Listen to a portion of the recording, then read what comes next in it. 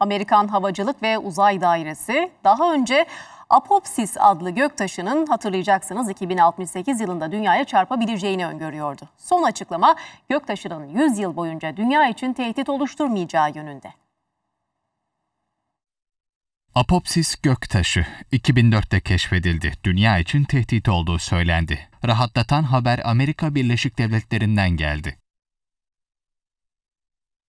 Açıklamanın sahibi Amerikan Ulusal Havacılık ve Uzay Dairesi NASA. Kurum, göktaşını dünyaya yönelik büyük bir tehlike olarak görüyordu. Apophis'in 2068 yılında gezegen için tehdit oluşturduğu kaydedildi. Ama yeni analizler herkese rahat bir nefes aldırdı. NASA'ya göre göktaşı artık dünya için tehlike arz etmiyor. En az 100 yıl boyunca çarpışma riski yok.